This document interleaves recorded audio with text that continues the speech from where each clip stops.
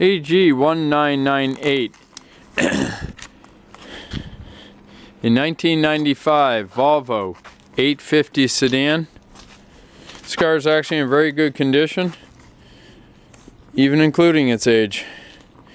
Person kept it very clean. Interior has a couple issues. There's a couple things on the car. It's a production date of January 1995. It's got 142,071 miles on it. The front wipers are missing off the headlamps. The lamps are dull, need to be cleaned. They're not body shop grade right now. Front bumper covers in good shape. Fenders and panels are quite straight. Hood straight, fenders straight on the passenger side. Doors look good on the passenger side. There's a crease down low here. Right rear door. Glass is a little scratched from going up and down. Gas door looks good. Rims need cleaning. Air condition B, maybe C. It's a GLT edition 850. Volvo was driven in here yesterday. It's got ding marks on the rear bumper cover. Rear lenses are completely intact. Don't look to have any damage cracks in it. Antenna is not snapped off, but it looks like it's not working. It's sticking up six, seven inches. Quarter panel and Doors are good on the driver's side.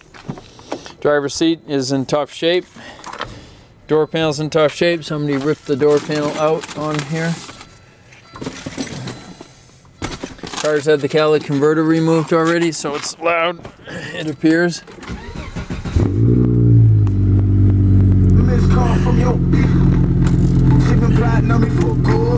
Let me see what I can do to see if the air conditioning works. Got traction control right here. Sunroof, back, close, up. Sunroof works. Really seems like everything works in this car. Radio works. It's a cassette deck. Don't know if that's functioning. Person was a smoker. Major, major smoker for uh, it's got heated seats, both sides. They seem to come on. It's got winter, economy, and sport. Driver's window, fastener front window, fastener rear window, driver's rear window.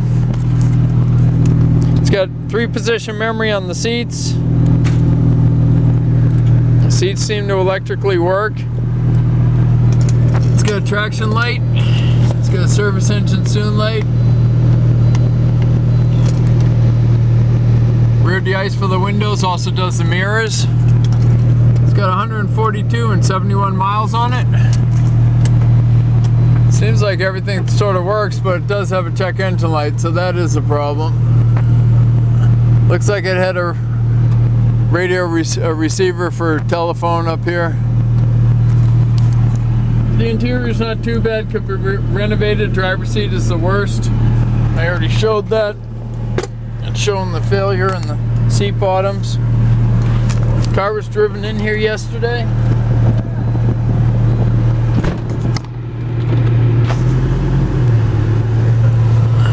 Car initiates the gears well. Very solid. Dashboard has a buckle in the center.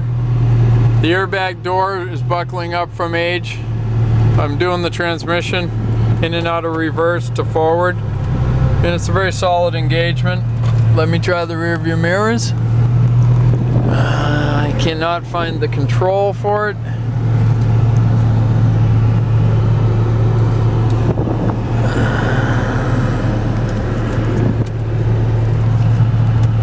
There it is on the console.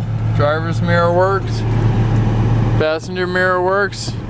Seems like everything sort of works well. Got a window lock button, but I don't find the door lock button. Yep, electric door locks work. Door panel on passenger side's tough. Carpeting might come back. I don't know if there's burns in it. I can't see enough of it. Very dirty on the driver's side.